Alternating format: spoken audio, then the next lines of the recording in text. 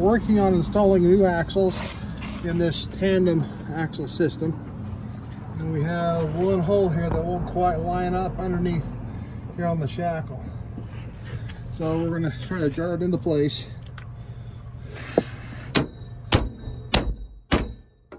Using a dead blow hammer, steel.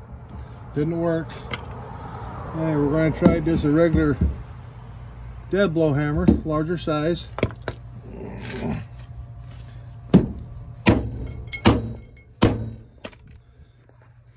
Let's see what we got.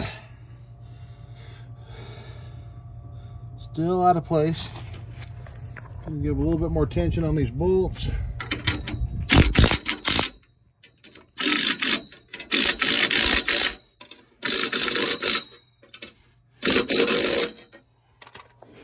So, since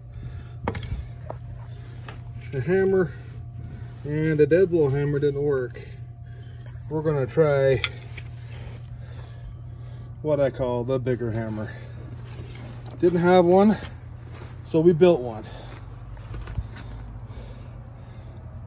Hardwood center, steel handle.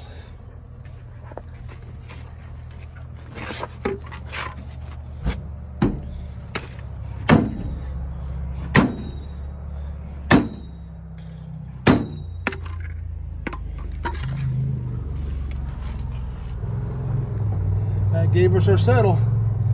Axles in place. Tighten her down, we're good to go. The bigger hammer. This beauty worked.